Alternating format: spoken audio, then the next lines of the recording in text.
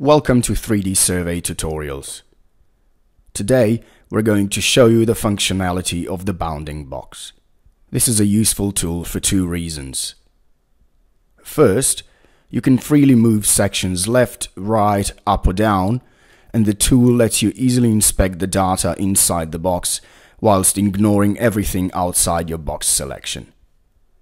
Second, sliding two opposite bounding box panes together will give you a 3D profile of the surface model. To move through the 3D model, press Ctrl, right-click the bounding box pane, and you'll be able to slide it in any direction and explore all the sections on the fly. Turning on the height map will visualize the height differences even more clearly. You can use bounding box in either point cloud tab or DSM tab. It is possible to inspect the differences between several point clouds or surfaces, of course.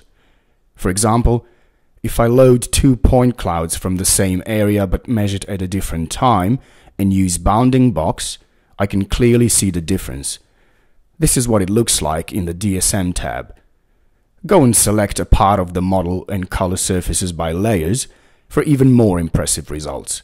Okay folks, thanks for watching and see you in our next tutorial.